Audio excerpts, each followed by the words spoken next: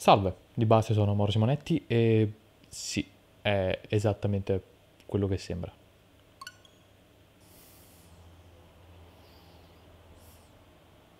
Mm. Ok. No, ho, ho premuto in basso che... No, non ho capito, sto, non sto facendo niente, ho premuto giù e è arrivato qui. You throw, ok, L, eh, dove sono andate? Stavo finendo di leggere il tutorial. Iniziamo già male. Levetta analogica sopra per andare a sinistra. Levetta analogica sotto per andare a destra. Ok, sto letteralmente premendo tutti i tasti, non succede niente. Ok, c'è un tasto You exited play, ora ho premuto start, mette molto ansia questa cosa. Se premo i, i tasti non succede niente. Se premo la freccia giù succede questo di nuovo. Questo video è stato già un progetto fallimentare. Non, non, non, non riesco a giocare. Ok, sono uscito. Ok, mi ha anche sconnesso i, i joypad. Non mi, non mi, fa fare niente. Solo sound on e off riesco a, a fare neanche sempre acchiappa il tasto. You play, tra l'altro mm, bella pixellata questa scritta, mi piace molto. Ok, già mi sta facendo scegliere se il livello 1 o il livello 2. Scegliamo il livello 2. Ok, ora mi sta facendo scegliere. Non so perché prima non me l'ha fatto fare, ora mi fa scegliere la palla. Di nuovo non mi fa fare niente. Ho cambiato soltanto che ora sto a Amalfi con un pezzo di mare a destra che manca. Dovrò parlare con il manager delle bocce di questo. Eh, fra. Premo start, mi fa exitare il play. You exited play. Questo non, non, voglio neanche sapere che traduzione sbagliata di che lingua è. Ora la cosa bella è il colore di scelta è il blu o il rosso. Fammi giocare al parchetto con le panchine. Io penso che le ultime due scritte sotto sono altri, altri due comandi, sono due tasti che probabilmente non ci hanno messo il simboletto per far capire che tasto è. Sto premendo altri tasti, vi giuro non fa niente. Poi cioè, ve lo giuro come se, se, se chissà che, che, verità io stessi dicendo o che bugia io stessi dicendo. Tipo, per favore, credetemi, è il gioco che non va, non sono io. Più o meno. Allora, questo gioco mi sta facendo chiedere come si può fare il rimborso tramite il Nintendo Switch online? Dato Play Device, gioca dispositivo. Però visto tornando un'altra volta, ma secondo me ho capito Ora sto facendo con un solo Joy-Con. Secondo me funziona.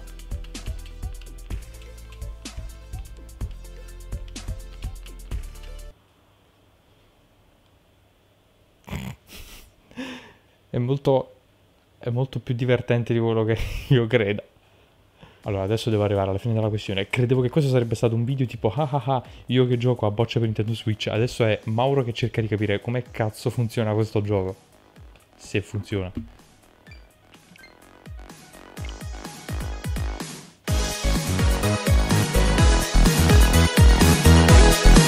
Ok, adesso mi sta continuamente facendo tornare a questa schermata, a quanto pare. Sto iniziando a pensare seriamente alla, allo stato della mia Switch in questo momento, se non ho installato tipo 700.000 virus. Però in teoria se la, il gioco è nello store dovrebbe essere normale. Giusto? Ok, proviamo a giocare di nuovo con un controller. No, di nuovo mi dà problemi. Se provo a usare i due controller invece come se fossero controller singoli Ok, me lo stai facendo fare. Mi sta facendo anche navigare nel menu normalmente. Novice.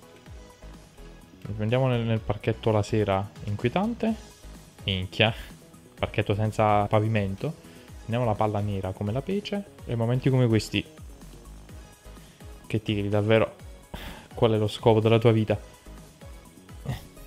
Andiamo nel, nel parchetto nel, sulle Alpi. Con parte delle Alpi a destra che mancano. Niente amici, penso che il nostro video si conclude qui. E un'ultima prova di... Niente, speravo sarebbe stato un video più emozionante invece... Ma voglio indagare più a fondo. Allora, voglio andare più a fondo. Informazioni software. Informazioni importanti. No, vabbè, questo software è protetto dalle leggi del bla bla bla, copyright, le cose. Avvisi di proprietà intellettuale, ma poi è scritto tipo Nintendo Switch è un logo, vabbè, vabbè. Made with Unity, funzioni di supporto. Bene, ora sappiamo dove andare. Nintendo eShop. Allora, ora vediamo quello che io volevo comprare. Fisica ultra realistica, bellissimi scenari e diverse palle con le proprie caratteristiche fanno di Bocce la più realistica simulazione di bocce petanque disponibile su shop.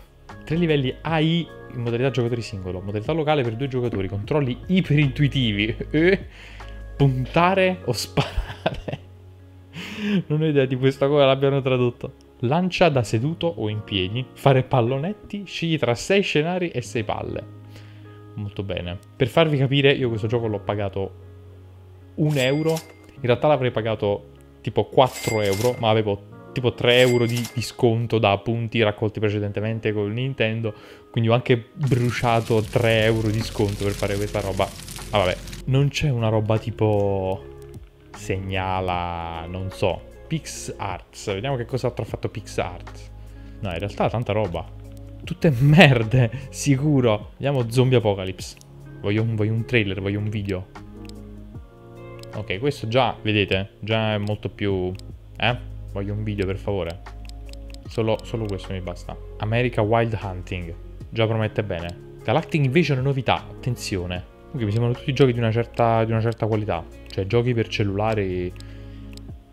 Per, per Engage cioè, ho capito che al, Nintendo non gliene fotte più di tanto a quanto pare dei, degli indie più indie che vanno nel suo store, però che sia un minimo giocabile, non dico, ah no, devono essere tutti belli, almeno cazzarola, cioè sono stato 10 minuti e non ho capito come funzionano i tasti, un po' perché sono scemo, però classificazione per età, se troveremo qualcosa, cos'è il PEGI? C'è una cultura, violenza, sesso, c'è tutto.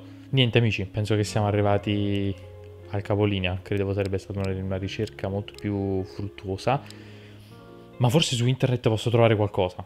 Beh, a quanto pare questa storia è un continuo. Dopo una ricerca di circa una decina di secondi su internet ho trovato non solo un utente su Reddit che ha lamentato lo stesso problema che ho avuto io, ovvero il fatto che il gioco fosse praticamente ingiocabile e anzi metteva in guardia gli altri nel dirgli guardate non comprate questo gioco perché è letteralmente ingiocabile, ma anche un altro utente di YouTube stavolta, Star of Shovelware, che in particolare ha preso PixArts come riferimento per parlare di quello che a quanto pare è una problematica all'interno del Nintendo Switch Store, quello che lui chiama asset flip ovvero il riuso di asset.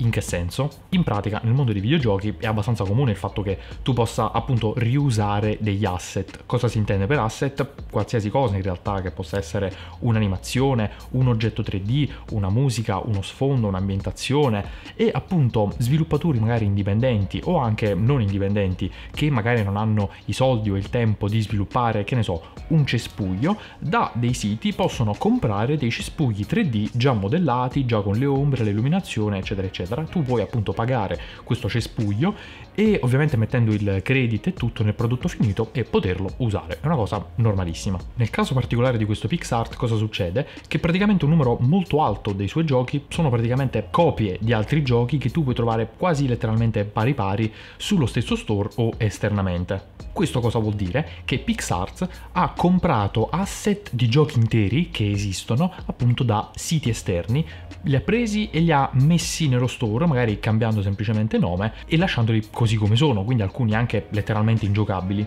E a quanto pare è anche una cosa mediamente comune, visto che appunto più sviluppatori diversi pubblicano la stessa versione dello stesso gioco con magari titoli diversi e forse a questo punto ci sono anche dei guadagni dietro un'operazione del genere. Io stesso non so esattamente quali possano essere, visto che questi giochi spesso vengono venduti ecco a 2 o 3 euro, ma per farlo vuol dire che forse una spiegazione dovrà pure esserci.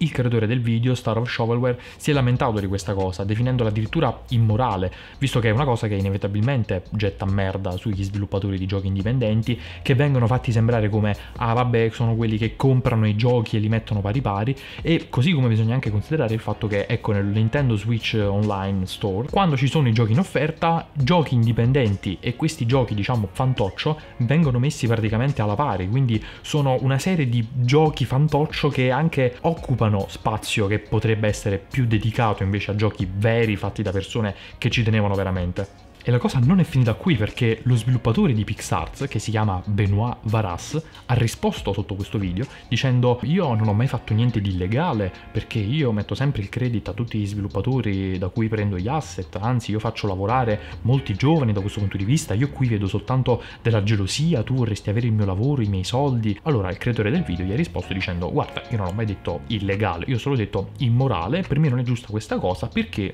una serie di motivi. E questo Benoit Varas rispondo eh ma stai calmo io ti vedo troppo aggressivo questa aggressività non va bene così. Cioè in realtà mi sembrava una di quelle discussioni su quei gruppi Facebook tipo uh, chi piange fotte a chi ride dove condividono uh, roar di Katy Perry dalla mattina alla sera. E infatti poi, il creatore del video stesso ha detto vabbè e la discussione poi è finita. È stata breve ma molto intensa. Chiusi i commenti ma in realtà ho scoperto l'ultimo tassello di questa storia ovvero un utente su YouTube che ha pubblicato un video per sbugiardare l'utente di Reddit visto prima che diceva che il gioco non era giocabile per dirgli invece guarda il gioco è giocabile e tu non capisci un cazzo e visto che mi sono sentito preso direttamente in causa da questo utente sconosciuto dell'internet ora devo provarci anch'io perché che cosa ha fatto lui di diverso? Invece di giocarci al televisore lui ci ha giocato in modalità portatile e quindi è quello che farò in questo esatto momento live lo proverò davanti a voi ora con i potenti mezzi che mi ritrovo. E per potenti mezzi cosa intendo dire che letteralmente mi metterò davanti alla camera sono anche decentrato rispetto al microfono Sti cazzi.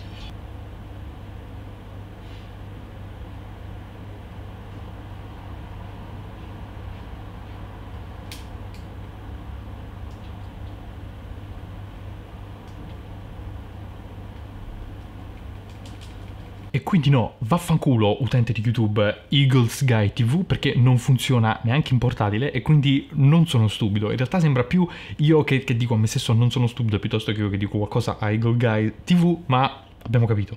Quindi è davvero una cospirazione? Mm, no, particolarmente, perché alla fine è tutto legale e a nessuno sembra interessare più di tanto, benché meno alla Nintendo stessa che ha questi giochi in enorme quantità sul suo store. Quindi ho gonfiato un po' il titolo giusto per sperare di avere quelle tre views facili. Sì, ma